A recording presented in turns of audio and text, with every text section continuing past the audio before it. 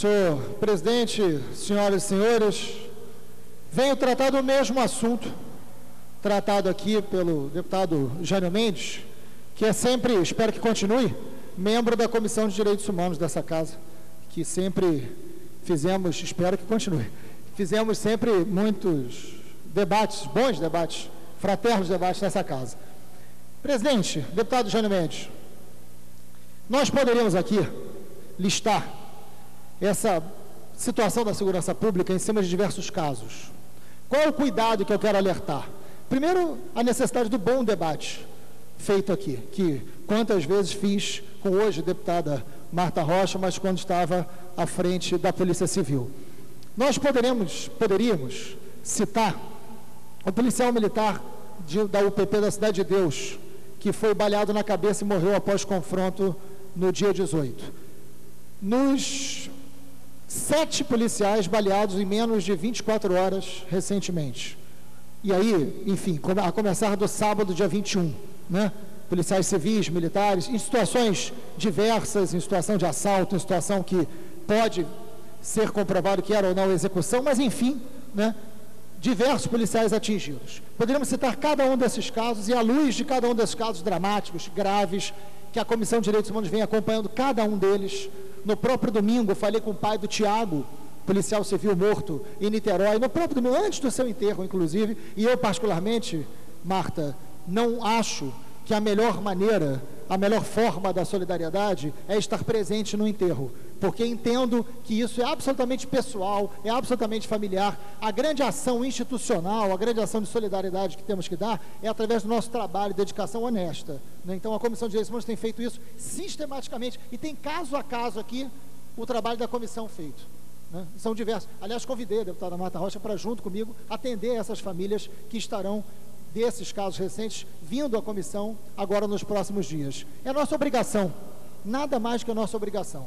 É muito melhor do que ir ao enterro e depois não prestar assistência jurídica, assistência psicológica. Pelo contrário, recorrer na justiça a um direito que essa família tem e que muitas vezes não consegue. Né? Agora, essa semana recebemos um telefonema, não vou citar o nome para que não o prejudique ainda mais, mas um sargento do 41º Batalhão, que perdeu o, o seu um pé numa, num, num, tiro, num confronto, e não tem qualquer assistência do Estado, procurando a Comissão de Direitos Humanos para conseguir ter os seus direitos minimamente garantidos. E a nossa obrigação, que é um poder independente, e tem mesmo que cobrar do Executivo, tem mesmo que acionar a Justiça, tem mesmo que garantir o direito dessas pessoas. Esse, esse é um olhar, deputado Jânio Mendes, que é honesto, que é legítimo, que é justo. Poderíamos, por outro lado, estar tá falando aqui hoje desse vídeo terrível do jovem lá da, da Palmeirinha, que filmou a própria morte, numa operação absolutamente desastrada da Polícia Militar.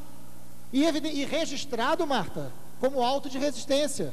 Quantas vezes fizemos aqui o debate sobre auto de resistência? Ali está comprovado, está filmado que não foi auto de resistência. Mas vamos ver como o Ministério Público e como o Poder Judiciário se comportam diante desta situação de auto de resistência. Foi claramente uma execução. Foi claramente uma execução filmado pelo jovem que morreu. Poderíamos também olhar por esse lado, deputado Johnny Mendes. Poderíamos olhar sobre os jovens que estavam na Kombi, na favela da Maré, que foi fuzilada, pela jovem que foi, pela Raíssa, pelo João Pedro, lá da, da linha amarela, diversos casos, diversos casos, que nós tivemos ali operações desastradas. O que não vale a pena é exatamente isso. O que não vale a pena é funcionar como uma maré, onde num determinado noticiário a polícia é vítima, no noticiário da semana seguinte a polícia é algoz. Esse jogo entre vítima e algoz caracteriza uma situação onde não tem vencedor. Não tem vencedor, deputado. A polícia não será melhor sendo vitimada e não será melhor sendo provocando vítimas da maneira que provoca. Ter a polícia que mais mata e ter a polícia que mais morre no mundo é uma lógica de guerra sem vencedores, sem qualquer possibilidade de vencedores. Esse é o debate fundamental que a gente tem que travar. Acho que as falas recentes do secretário de Segurança, Mariano Beltrame, são muito mais cuidadosas do que a própria fala do governador recentemente, que eu aqui publicamente critiquei. Né? Ele vem falando que a polícia está sozinha e que outros órgãos e que outras instituições precisam também tratar da segurança pública. Quero dizer que concordo. A segurança pública é muito importante e a polícia não pertence à polícia. A polícia pertence à sociedade. O debate sobre segurança pública é um debate que não cabe exclusivamente à polícia, cabe ao conjunto da sociedade.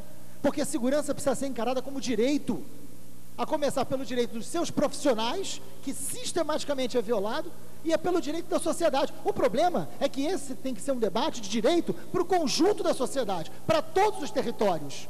Não vamos resolver esse problema, deputado Jânio Mendes, enquanto tivermos uma cidade e uma lógica de cidade onde essa segurança é adaptada, onde territórios são territórios de segurança e outros territórios são territórios de guerra, onde a dignidade tem CEP e onde a maneira de agir da polícia muda radicalmente no trato às pessoas.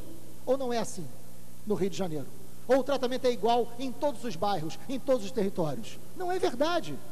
A preparação da polícia precisa mudar. Nós temos uma PEC tramitando no Senado, no Congresso, que é a PEC 51, que trata da desmilitarização da polícia, que tem o apoio, na última pesquisa, de mais de 70% dos policiais consultados.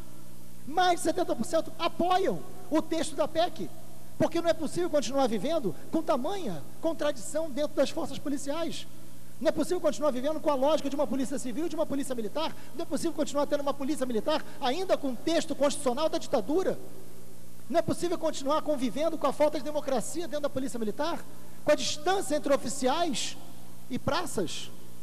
Não é possível. Isso precisa mudar. Essa, essa tem que ser uma pauta exigida também pelo secretário de Segurança. São mais de 20 casos de, balas, de bala perdida só no mês de janeiro. Eu não gosto desse termo bala perdida, né? mas não vou nem entrar nessa polêmica. O secretário de Segurança deu uma declaração recentemente falando do problema das fronteiras ao se tratar das balas perdidas. Eu quero dizer que me preocupa essa fala. Ao contrário da fala anterior, que tendo a concordar com o secretário de Segurança, nessa eu não concordo. Porque nós fizemos nessa casa, o deputado Jânio Mendes sabe disso, nós fizemos nessa casa uma CPI sobre tráfico de armas. E já houve também uma CPI sobre tráfico de armas em Brasília, que, aliás, muito bem feita, com um texto muito interessante. Nós fizemos uma CPI sobre tráfico de armas e munições, aqui em 2010, aprovado por unanimidade nessa casa, amplamente debatido. E nós pegamos o início da gestão da Marta Rocha na Polícia Civil, no final dessa CPI, ou pelo menos no desdobramento das suas propostas. Está lá, claramente, alguns dados que precisam, nesse momento, serem ditos ou serem lembrados às autoridades da segurança pública, quando se fala em bala perdida ou quando se fala em confrontos. E muitos deputados aqui que acompanham com seriedade o debate da segurança sabem disso. Longe do maior problema do Rio de Janeiro está nas fronteiras. Longe. Sabemos que esse problema existe. Sabemos que ele é concreto. E esse é um problema nacional. Mas não é verdade que esse é o problema que explica a nossa realidade aqui do Rio de Janeiro. Se silenciarmos diante disso, vamos estar silenciando um trabalho feito com muita dignidade nessa casa. Está aqui. Dados da própria CPI. Perfil do tipo de arma apreendidas na ilegalidade no Rio de Janeiro. De 2000 a 2010, um período recente e importante. Dados da própria Polícia Civil. Né? 81% armas de uso permitido. 16% arma de uso restrito, 2,5% informação. As armas. Embarcação Itaipu, CCO. Armas curtas. São armas curtas. São armas que nascem na legalidade e que. Pedir senhor seguir ao largo aí pra mim, por favor. Como justificativa do que está acontecendo aqui como fato agravante da segurança pública é esconder e maquiar a realidade. Nós temos um Estado que não controla o comércio legal das armas, que não fiscaliza as empresas de segurança, que não fiscaliza os colecionadores, que não, e não é um problema de um órgão, é um problema, inclusive, de falta de comunicação entre a Polícia Federal, entre o Exército, entre a própria Polícia Civil. Os dados sequer são trocados. Tudo isso está absolutamente pontuado, classificado, explicado na CPI do tráfico de armas.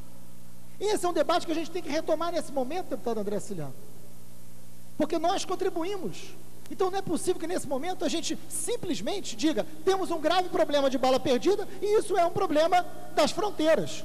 Sabemos que não é verdade. O problema da fronteira existe, mas não explica isso. Não podemos continuar vivendo uma cidade que não é democrática, uma cidade que pensa uma segurança onde determinados territórios são tratados com uma lógica e outros são tratados completamente diferente. A lógica da guerra continua. Eu quero saber se um carro que não pare numa blitz no Leblon será fuzilado, como um carro que não para numa blitz em qualquer lugar da zona norte dessa cidade. Não. Por que não?